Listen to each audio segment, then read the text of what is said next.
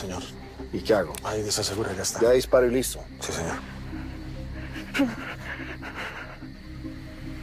Termina lo que empezaste hace años, cuando pusiste la bomba en el carro del teniente Bamón. ¿Mm?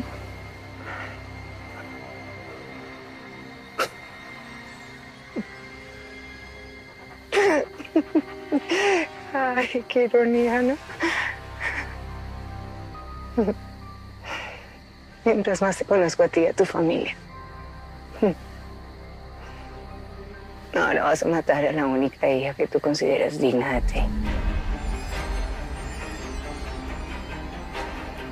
No quería saber por qué te odio tanto. Sorpresa. Yo soy Ana Lucía Munca.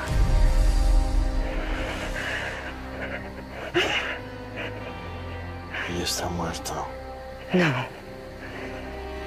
Está vivo. Más vivo que nunca.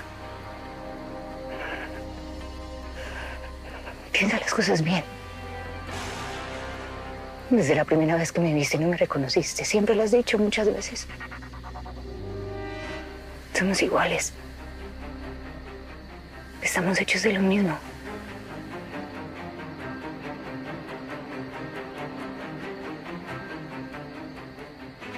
Mi mamá no la toca! ¿Qué iba a hacer? ¿Qué iba a hacer? A ella no me la toca, se la había advertido, no se la había advertido. ¡Vámonos de aquí! Ya, Ana Lucía, por favor, mamita, ya espérese un momento, espérese que todavía tengo algo que... Dios mío, Ana Lucía, por favor. Impresionado con tu reel de presentación. ¿Cómo no te había visto antes? Bueno, porque andaba poniendo un jefe de Estado en el DF. Pero corren ustedes dos con mucha suerte porque justo acabo de quedar libre para sentarlo a usted en el Palacio de Gobierno. Salud por tu nueva compañera de campaña. Yo prefiero brindar por ti. Yo solamente estoy haciendo mi trabajo, para eso me pagas. Y te mereces un aumento de sueldo. Y hablo muy en serio. Tú eres lo mejor que le ha pasado a mi campaña. Y me atrevería a decir que a mi vida. Yo creo que ya te lo había dicho varias veces. Es algo que me, me gusta mucho de ti. Y es lo mucho que nos parecemos. Pero esa es tu desventaja también, querida. Porque desafortunadamente para ti sé cómo actúas. Pero sobre todo, cómo piensas.